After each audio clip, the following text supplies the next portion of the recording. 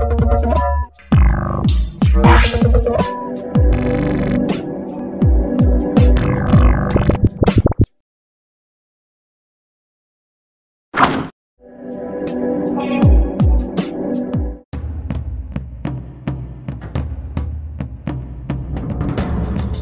现在收看的是《灿烂时光会客室》，我是节目主持人管中祥。《灿烂时光会客室》是由公司新闻议题中心 PN、公民行动影音记录资料库我们联合制播的网络视讯节目。我们希望透过呃人物的专访，让大家了解到一些在争议性事件背后特别值得我们去关心的在法律跟制度的问题哦。那其实，在我们节目当中讨论呃空屋这件事情，其实是哦好好多次的节目内容都谈到这个非常重要的一个议题哦，特别是在过去呃在有关于这个包括六轻、包括台中火力发电厂或者是地方呃政府或者地方环环保团体在谈的这个有关于呃禁烧石油焦煤这个部分的这些议题呢，其实我们花了非常多的这个心力哦，也跟大家提到，其实在台湾的中南部这样的问题其实非常非常严重的。那当然在前几天有一件。有一个法案，这个修法通过，就是空气污染防治法，终于修法这个完成，这大概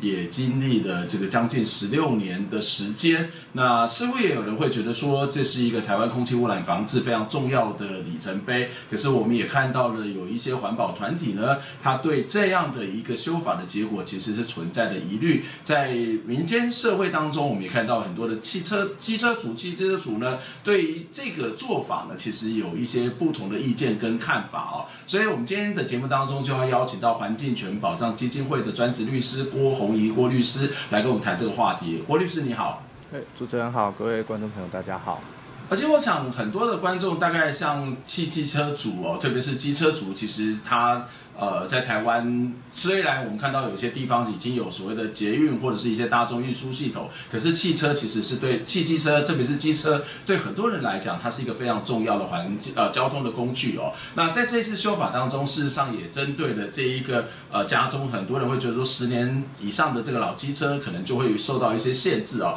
也许我们可以从这个普遍大家所关注的这个议题来看，这个法通过对这些机车主会造成什么样的影响？那有人会觉得说，你去限制这个机车族的这种所谓的呃驾驶，或者是他车辆的汰换，其实是一种缩小放大的一种做法，对空气污染没有什么太大的防治作用。您的看法呢？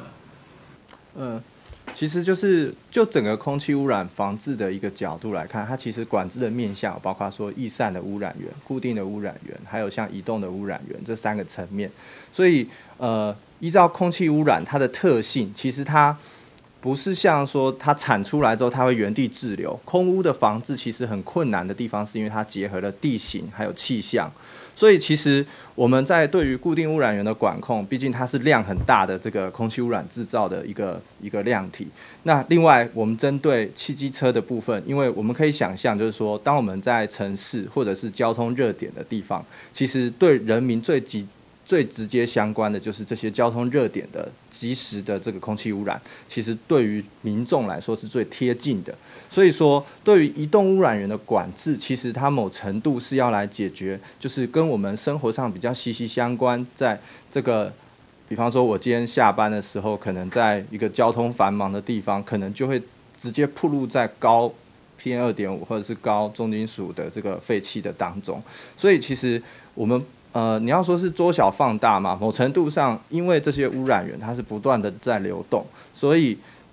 在城市的部分，可能是移动污染源的污染，可能比较对人民直接侵，直接是一个侵害。那在于其他地方，它可能是一个污染的热点，就是说透过气象的扩散之后，它可能固定污染源的废弃物可能就会集中在一些特定的地方，所以因应这样子不同的特性，就会发展出不同的。管制的手段，那也就是说，环保署才强调说。污空气污染的防治必须要从不同的面向去进行，跟不同的面向去着手。所以对我来说，移动污染源的管制确实是有它的必要性。嗯，但是在管制这个移动污染源的同时，是不是对这一种所谓的固定式的污染源，甚至呃很多人会关注的这个境外污染源，在这个法案当中，它又会有什么样规范？待会我们可以再进一步的去讨论哦。不过我还是在这个汽机车这个部分上面，那这个汽机车这个法通过之后，汽机车它是不是必须要强制的？去做汰换呢？那尝试着做汰换，那这些损失是是谁由来承担的呢？因为他会觉得说啊，我平常都有在保养啊，我都有在换机油啊，然后我这个骑车的时间可能也不是太长，它也没有什么太大的污染的问题，那我为什么要去呃，为什么这些损失是由我来承担呢？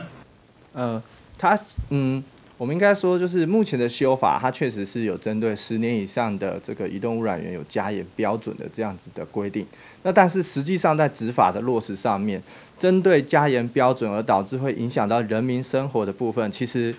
各级主管机关或者是主管机关，他们都要有一个。相当的配套措施，或者是一个过渡期间的一个一个规定，所以说那个骑程还有它的相关配套就变得非常的重要。这也是环保署前一阵子有提出来说，他们有相关的补贴，或者是相关的这个呃。就是汰换的机制，他们必须会去再做多做说明。那我觉得目前民众的疑虑，可能就是在说相关的补贴政策，其实大家还不是那么的清楚。还有就是到底骑乘的规定是怎么进行的？那假设说四行程只要是在定期的保养，或者二行程在定期的保养下，它有没有可能符合相关的标准？这些其实环保署跟民众之间的沟通，可能是我觉得目前是比较匮乏的，也是民众会有这么多的疑虑跟担忧的部分。那但是我强调的是说。在这个办法定出来之后，后续的配套的政策还有相关的办法的严拟，这个部分其实环保署目前还没有一个比较明确的一个公布。那这个这个这个部分的讨论，也是后面移动污染源管制如何去加严标准去进行一个很重要，讨大家可以进参与去讨论的一个地方。嗯哼，也就是说现在。定的这个所谓修订的这个所谓空气污染防治法，事实上也只是一个母法的概念，后面可能还有非常非常多的法律，这个不必须要再去做修订。但是看起来环保署在这个部分还不是那么的，也许有方向，但是并不是那么明朗，所以会有很多人会有一些疑虑的存在哦。那当然，在这一次法案当中，其实有一个概念叫做空气品质维护区。什么叫做空气品质维护区？如果从一个空气污染的防治，它不是整个台湾，它都应该是一个空气品质维护区吗？这个空气品质维护区有什么特别的地方吗？哦，空气品质维护区其实，呃，在目前的呃几个地方政府里面，其实已经有发展类似的概念，他们就称为空气品质禁区的这样子的干干净的净。那这个其实源自于国外很多，就是针对都市比较高污染的热点、交通热点，他们在特定的时间点，他们会限制一定高污染的车辆禁止进入该区域，或者是针对一些高保护的区域，他们不希望有高污染的车辆能够进入。那这个地方就是针对各地城市，我刚刚说了，可能是一些交通比较密集的地方，它可能是一个人口繁呃人口数比较多的一个聚集的地方，它去。他去要求这个地方不可以有高污染车辆进入。那因为我刚刚也有说明，就是说移动污染源其实它在城市里面其实跟人的接触是最直接相关的。所以针对特定区域，因为可能移动污染源的集中，然后或者是人口的影响，他们去授权给地方政府去划设一个空气品质维护区，限制一定的高污染进入，然后降低对于人民。暴露在高污染的这个风险当中。嗯，也就是说，这个所谓的空气品质维护区是禁止工厂或特定的工厂去进入到这个地方去做禁止这种设置吗？移动污染源。对。嗯哼，那所以它类似像车辆管制的这样一种做法。对，类似车辆管制的这样子的做法。嗯哼哼哼，在这次里面，其实还有一个概念，我相信也很多人就会觉得一些疑惑，叫做总量管制哦。这个总量管制似乎只有在高频地区来进行这个总量管制。那这里谈的总量管制是一个什么样的概念？那为什么只有特定的地区是做这种所谓的总量管制？哦，呃。这个可能我们要拉回到前面一点点的，就是到底我们空气空气污染防治法里面有哪些区域的概念？我们刚刚已经谈了一个空气品质维护区的概念。那原本其实还有两个，就是总量管制区以外，还有一个叫做空气污染防治区。那空气污染防治区它依据的是空气品质标准，就是说这个地方它。因为各个污染物，它它必须要限制在一定浓度里面。呃，如果是属于国家公园级，就是一级防治区；二级防治区就是符合空气品质标准，就是它的地方的空污的浓度是符合空气品质标准；三级就是未符合空气品质标准的的区域。那这个是以浓度为概念的一个区域划设。那总量管制区，它是依照地形以及气象的条件，还有污染固，就是所谓的工厂固定污染源的集中程度，依照跨区域、跨跨地域性的方式去划设一个总量管制区，来限制这个区域的总量。简单来说，空品区比较是一个空气品质防治区，是一个浓度的管制；那总量管制区比较是一个量的管制。那在这两个区域里面，会有不同的这个管制的内容跟手段。那总量管制区是一个在呃，我刚刚说了，它要考量的有气候、地形，还有就是污染源的集中的程度来考虑适不适合。那过去高频地区为什么会划为一个？总量管制区有它的一个历史背景，是高雄过去以来都是呃台湾重工业的一个集中的一个地方。那高平地区的工业区也相对来说是过去台湾来说最集中的一个区域。所以在 PM 二点五还没有划入这个管制的对象之前，高频地区一直都是呈现三级空品区的地方，空气品质防治区的部分。也因为如此，所以。地方的环保团体当时其实是希望透过空气污染防治三级的这个呃三级空气污染防治区的这个指定消减的制度，去让这个高雄地方能够降它的污染量。但是后来因为法规的定定不够的周全，所以他们只好退而求其次去寻求用总量管制的方式来管制高频地区。但是中央确实当时有。将高频地区划为一个总量管制计划的一个对象，可是因为在经济部，因为当时的条文就是会同经济部去发布实施，所以当时就是卡在经济部的这个地方，让整个高频地区延宕了十几年之后才真的落实，也是前几年。可能是前些年的的事情而已，所以说总量管制它过去是有它一个，就是在之所以会在高频有它一个历史的脉络，那也是因为如此，在这一次的争议里面，就包括说呃总量管制的相关的游戏规则，还有就是说为什么会有。呃，这个会同会商的争议，其实某程度都是来自于高频地区化设总量管制的这个历史背景，这样子。嗯嗯嗯。是。但是高频地区，当然我们知道它有历史背景，可是在整个台湾的工业发展，呃，不包括这个在中南部的环团，或是人民其实最感受、感同身受的这个，包括台中火力发电厂，或者是像六轻等等的这些所谓的问题哦。那它这些地方为什么它不是一个总量管制，或者是说这个总量为什么不是一个整体台湾的概念来？来去进行规范的呢？呃，总量管制区其实我刚刚有说，就是说它考量地形跟气候，所以说当污染的污染特别会集中在特定区域，而且我们可以评估大概就是由这个地方的工厂提供了这些的污染量的时候，它就相当来相对来说是一个适合化为。总量管制区，所以总量管制区相对来说，它有几个特色。第一个是它的污染源非常多，工厂数很多，而且集中，而且我们可以推断说，这部分的污染的贡献，可能就是这个区域里面自己的自己产生的这个工厂，对一定的工厂数。那其他地方之所以不会纳入总量管制的考量，有几个。第一个就是我们反过来说，它的工厂可能相对是分散的。那分散的情况之下，那个总量的区域要怎么去划设，就有就可能比较难去管制。因为像分散的话，其实我们不知道这个区域的污染到底是谁贡献的。那如果把整个台湾划为一个总量管制区，其实那个就是总对总量管制的游戏规则来说，就是它不是这么进行。因为总量管制有一个特色，就是它等于是把这个区域加了一个盖子，它就限制了其他的污染源进入。它就有一定的条件，它可以进入。所以说，它有点是呃，过去在美国的政策，他们说是源自于一个叫污染泡泡的概念，就是说它是一个污染的泡泡。那我在这个泡泡里面加盖之后，我让这些地方他们必须要在里面去做他们自己的减量的的过程。那呃，这也是我我刚刚说，就是相对于花莲呃，比方说花莲这些，它可能是。相对来说没有什么工厂，或者是台中地区、云嘉南地区，它可能是农业或者是工厂相对是分散，或者是哪些污染源的群聚的范围，它相对是分散的情况之下，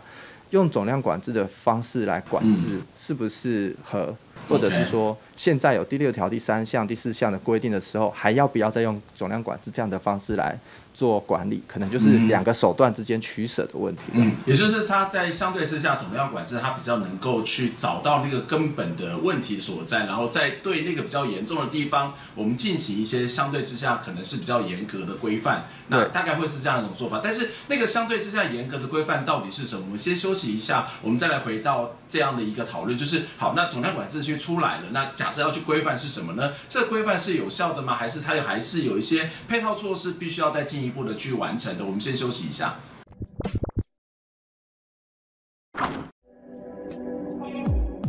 欢迎收看本周的大元载报新闻。屏东一所高中数度爆发性平案件，已有四名老师被惩处，最严重的被终身解聘。但人本基金会认为，校方并未在事后适度向学生进行性平教育。二十九号将案件内容以公开信发给学生，希望学生懂得自保。该校被揭发多起性平案件，比如有男老师追求女学生，要求其他学生和他一起称呼女学生为老婆；另外一位男老师则让女学生坐在大腿上，面对面拥抱，嘴对嘴喂食。也有老师长期骚扰特定学生。人本事后查出，这所高中已有五名教师触犯性平案件。其中一人被终身解聘，一人解聘四年，两人被记过，一人还在调查中。人本认为，学校即使做出惩处，但未充分向学生说明案件，并借机进行性平教育。学校则否认，但不愿多做说明，只强调有加强性平教育课程。雅尼二十六号上午举行股东会。位于矿区附近的泰鲁格族人与环团前来抗议，雅尼将继续在当地炸山采矿二十年，让他们饱受噪音、土石流威胁。环团原本打算在股东会内要求亚尼负起社会企业责任，但迅速被逐出会场，点燃场外原住民怒火，一度和警方爆发冲突。亚尼回应，亚尼采矿并没有原住民控诉的这些问题。董事长徐旭东表示，场外有些人不是花莲来的，亚尼与花莲当地族人已有良好沟通。徐旭东还说，亚尼总经理李坤言就像族人的家人，去跟族人谈判时，穿的是山地装，戴的也是山地人的头饰。因为劳资协商破局，桃园市技师职业工会二十七号表示。将从七月十六号到八月六号进行罢工投票，一旦投票过半同意，工会取得合法罢工权，将发动一系列的技师罢工行动。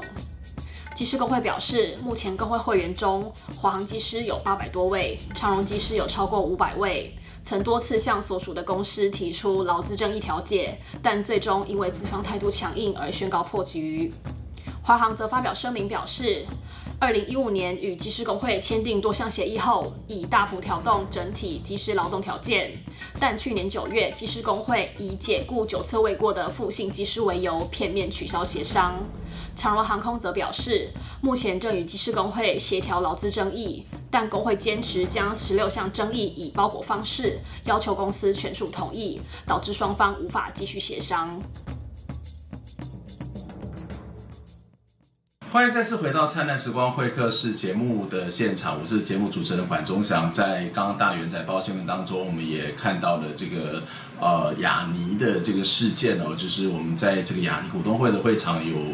呃，环环团的这个朋友其实也到了现场去进行这个呃相关的抗议。哦我们看到族人在这几十年来的这个抗议，然后整个家园、这个山林都一一的被破坏。但是比较觉得有意思的是，这个雅尼的徐世徐旭东董事长还是觉得他们是很有诚意。可是我们在看到的现场的影片当中，呃，实在说实在的看不出那个诚意到底是什么。因为呃，会长说我们去跟山地人沟通，然后还穿山地人的衣服。戴三地人帽子，其实呃很难想象这是在二零一八年还会发生的事情是用语，但是我觉得一个假设真的是要沟通，最起码的那种尊重，或是将心比心，或是到那个地方有更深刻的了解是很重要，因为呃这个不是当地的问题，而是整个台湾生态环境非常严重的一个问题，我们也会持续的关注这样的一个事件哦。在刚刚。的上一段的讨论当中，我们其实讨论的是台湾空屋法的这个修法。我们要再回到现场，跟大家邀请到的来宾是环境权保障基金会的专职律师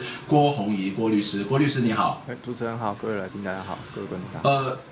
我们在刚刚的节目当中也提到了这个总量管制的概念那在这个总量管制当中，你刚刚谈的是一个总量加盖，然后新的增加的是没有办法进来。可是，在这个总量管制当中，其实还包括像指定消减或是交易抵换等等的这个问题。可以跟我们解释一下，什么叫做交易抵换，什么叫指定消减？而还团其实或在很多不同的团体对这个做法其实也有不一样的意见。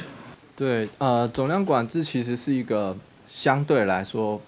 呃，非常有点复杂的一个的一个制度哦。那它其实有几个名词，我们可能必须要说明一下，就是说，呃，从整个总量管制区，它管的这个总量到底是一个什么样的总量？其实这就是一个大家会去关心的。那其实依照现在的几个许可的的量体来说，第一个当然就是环评通过的那个量是最大最大的值值，再就是各地方许可证核发的许可量。它又是一个许可证上容许固定污染源空场排放的量，那又是一个排放量。那再来就是所谓的认可量，认可量它到底是实际排放量呢，还是它是比较接近许可量？这就是过去环团之间就是在争执，或者是对现有的这个高频总量管制区不满意的地方。那这个过去这个认可量是以这个厂商过去七年的平均排放量来做一个计算。所以说，相对来说，它可能离它实际排放量是有一定距离的。那在高频地区的总量管制，其实是在它认可我刚刚说是过去七年的实际排放量计算下来的一个量体。那它只要求它削减百分之五。那这里的就会有一个空间，是它假设是它量体其实还是这么高。它下减下降了百分之五，其实根本还没有实际消减，因为它实际的排放量可能还是在这边。因为它过去的排放量就太高，造成污染太严重了。对，所以说这个就是一个第一期层大家非常不满意的地方。但是也不能说这样子完全没有贡献，因为过去七年的排放量来说，对于某些小的厂商来说，确实已经有一个，或者是过去其实排放量比较合乎于这个。许可就是跟实际排放量跟许可证比较贴近的厂商，其实就有一定的减量的作用。所以，但是它发挥的功能其实相对来说是小的。那在第二期层里面，其实这个认可量在不断的争议当中，这次的这次的认可量，第二期层的认可量，它改为是过去三年，也就是说，在第一期层总量管制下的这个过去三年之中的这个实际排放量去计算它的认可量，这样子。让这个实认可量能够逐渐贴近于它的实际排放量，这时候再去要求它做指定消减，这时候才能看出真正消减的那个效果出来。那这个就是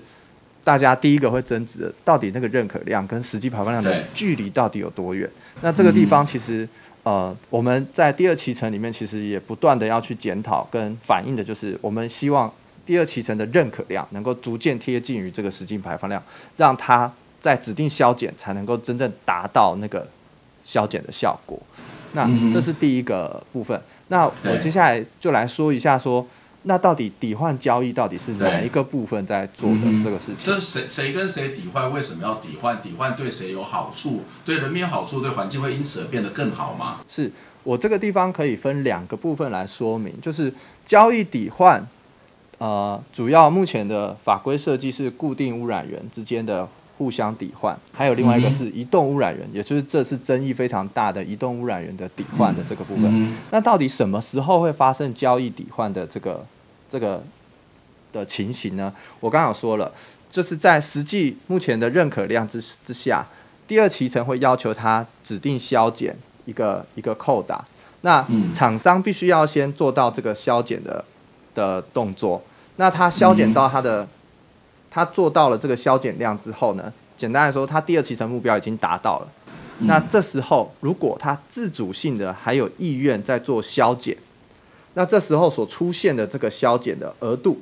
就是这个厂商未来它可以保留自己扩厂使用，或者是说别人有需别的工厂有需求的时候，它可以提供给别人别的工厂作为交易或抵换的一个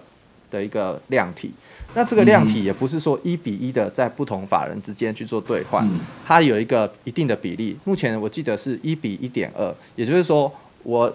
保留了我我自己有这个一吨的一公吨的量体来说，我卖给你之后，它最多只能当做零点八公吨来使用。简单来说，它就是每次的交易都是要打折使用，打折使用。那我刚刚说了，指定消减的这条线在这边，厂商自主性的去减量之后，这个额度。简单说，是他自己自动自发的去消减，才会有所谓交易抵换保留的空间。那透过他们自主性的再去做交易，简单来说，目标已经达成了，再透过交易，让实际的消减量，透过每一次的打折交易，让消减的额度在逐渐的下降。这就是固定污染源之间，他们透过交易抵换，希望能够发挥的一个功能。那我们再回过来说，移动污染源的抵换到底是在什么样的情形发生？目前的条文它是设计是说，当固定就是工厂它没有办法达成这个消减的目标的时候，比方说它其实目前的技术已经做到顶了，或者是说它的发展已经做到顶了，可是它它还是需要一个量体来维持它现在的的生产。那这时候。他也告诉了主管机关，经过主管机关的判断，确实他这个时候是没有办法再做减量。那这时候他必须，刚刚我说他必须要取得他增增出来的这个空间的时候，要不是跟别人买，刚刚说不同的固定污染源是零点八的那个量体，不然就是要跟移动污染源，而且这个移动污染源必须要是出自于他自己去鼓励，或者是他去。促进这个汽机车汰换，或者是说他自己去做他工厂工厂里面的的汽车车辆的一个能源的替代使用，或者是说他去鼓励做大众的消这个他去用不同的方式，呃，我记得说公共的运输，它只要有一定的贡献有下降量的话，这些才才有可能拿过来作为它去做这个它没有办法消减的这个空间的这个抵换额。如果它没有去做这样子的动作，其实。后续都会有罚则的部分去去处罚，说你既没有消减，又没有去促进别的移动污染源减量的时候，它就必须它就必须要受到相对的法则。促进别的移动污染源减量，它也是要包含消减在里头吗？对，当然，因为呃，第一个是移动污染源的部分，它其实。呃，我们这样说好了，其实我刚刚说整个总量管制区里面，它污染的贡献不是只有固定污染源，还有包括移动污染源。所以只要这个厂商能够去促成移动污染源的的汰换，而导致于这里的无移动污染源的贡献度，呃，空气污染的污染量能够下降的话，那它就可以拿来抵换。那以目前环保署的说法是，目前移动污染源是三点三三公吨才能够换一个。工厂的一吨，简单来说，它要取得一吨的使用量，就要去让移动污染源的这个部分要下降，大概大概要减少三点三三公吨。那实际上的认定这个部分，其实也是非常依赖相对应的技术，就是我怎么样去认定到底。这个移动污染源有没有减量？其实这个部分目前的法规其实也还没有办法看得出那么明确。嗯，所以这边会其实会有两个问题，一个问题是说那个最一开始的那个所谓的总量到底是怎么定出来的？对，这个总量它会不会其实已经刚刚提到其实已经污染很严重，但是你还是在定一个非常高的这种不是高标准，而是让它高的数额。那第二个是说刚刚谈到的是这个所谓的呃消减，那它真的可以消减吗？那抵用真的是可以越来越低吗？还是它其实会有更多的这种熊康熊康各式各样的方法，其实还是在维持维持一样的问题。而假设是这样子，因为相关的后面的东西都还没有定出来，会不会其实前面也都会前功尽弃，而没有办法真正的解决这个所谓的污染的问题呢？这其实是我们目前也很蛮忧虑的这样的状况，因为我们刚刚说高频地区的总量管制在第一期层，其实。就团体来说，它其实没有发挥相当的功效，顶多就是加了一个盖子，让新的污染没有办法进来。那第二期层已经是实质要去讨论指定消减了。如果有陈如刚老师所说的，如果它的那个总量的认定还是离实际消减量有一段的距离。那再怎么减都是摸不到那个实际消减量的话，实际的排放量的话，那其实根本没有发挥消减的作用。所以那个认可量这条线其实是第二期层，我觉得是各个团体之间必须要去守住的一条线。那第二个第二个线就是陈如刚刚老师所说的，在交易的过程中，到底有没有可能去达到那个消减的功能？这里有几个，就是到底你能够，我刚刚说了。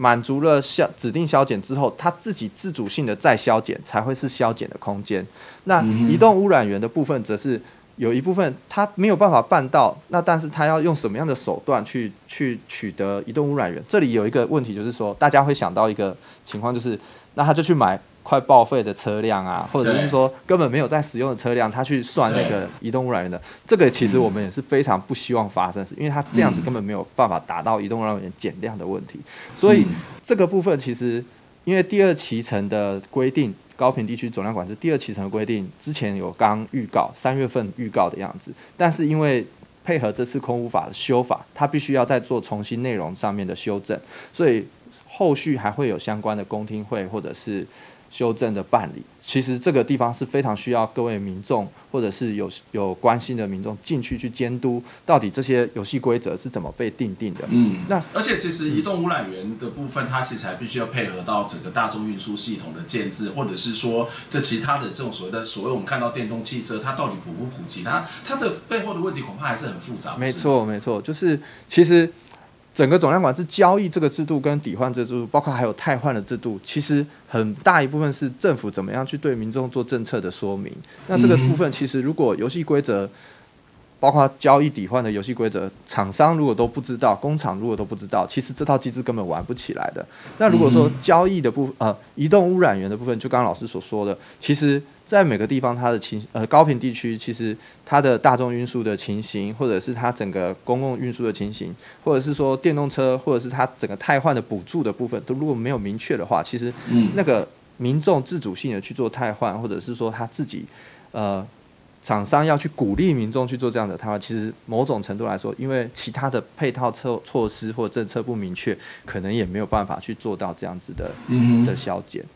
呃，因为时间的关系，我想请教最后一个问题哦，就是呃，其实很多的团团是关系的一个问题，就是这个这样的一个所谓的空屋法会不会造成中央集权越来越严重？因为呃，包括环境保护联盟也提到说，本次的空屋法的这个修订有很多的法条似乎朝向更中央集权的这种方法。那在过去几年，很多的地方的环保团体，甚至地方政府也去呃，这个所谓的在生煤许可的这个部分也着力非常非常的多。那这个会不会造成是更中央集权？而其实真正的造成的污染是在地方，常常我们看到很多人说啊，你叫中央政府，你到中南部来住住看，你就知道污染有多严严重嘛。那如果不是由地方政府来进行这种所谓的规范跟管理，这样的一个空屋房子会不会有其他的问题呢？呃，这里其实呃，我我分几个层面来说明好了，就是第一个是由地方制度的这个游戏规则来说的话，中央定定的标准，如果是属于地方的自治事项范围内。地方要去做加严的动作，其实不需要法律明文规定，地方就可以去做。所以说，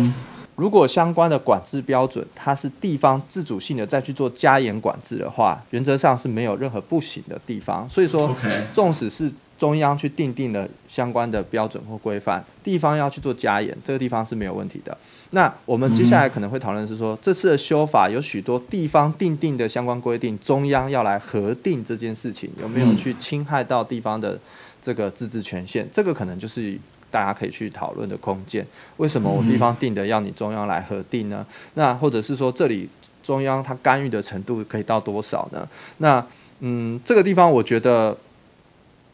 他可能就真的有侵害地方自治的问题，但是有没有真的会明确、会夸张到就是地方定了，中央不予核准？那这个其实后续可能就可以透过司法救济的方式去说，你的这个否定我的这个部分是不是有问题的，侵害到我的自治权限之类？那这个是另外一个可以去讨论的地方。第三个是说，针对这个为什么这么多的技术规范，最后都是由中央来定？定定，呃，某程度上，我必须要说明是说，空气污染防治法它是一个技术层面相对于其他管制或者是其他法规，它是技术层面非常高的一部法律。所以说，相关的技术幕僚或技术规范的，呃的专才或者是人员，其实以环保署的的空保处的这个的团队来说是最完整的。那我是刚刚细数了一下，目前整个空污法修法后，大概要修订。配套的的的授权规定来说，光从条文来数，就至少有四十几项以上，不包括其他各自管理的排放标准，就是它可能都是上百的条文在做修正。所以说，地方有没有办法去负荷这么多的技术性的条文的制定，还是说先由你中央定一套，我们再来看怎么去加严？我觉得这个也不能说是由中央去定定，就是有侵害到地方的。的这个权限的问题，反而是说，地中央如果定了一套基本的游戏规则，地方如果愿意再去做更多的加严管制，那我觉得这个部分就是有那个空间可以让地方的政府来做操作。嗯嗯。但是无论如何，我们可以看到这样一个法律还只是相对之下是一个比较母法的概念，所以我们看到一些做法，呃，的确对于所谓的一个环境空气保保啊品质的这个保障是有一些帮助，可在实际执行上面还有非常多的疑虑，并且在这个所谓的法律的修正当中，啊，或者一些办法的推出的时候，到底会朝什么样方向走？是更严格还是更宽松？还是实际上是创造了一些这些呃排放工厂的一些他们可以逃逸的空间？恐怕都是我们必须要再进一步跟去关注、去追踪的问题。我今天非常谢谢我们来宾来接受我们的访问，希望下次有机会能够再请教你相关的问题。我们这礼拜的节目到这边结束，下周空中再会，谢谢，拜拜。天空的眼泪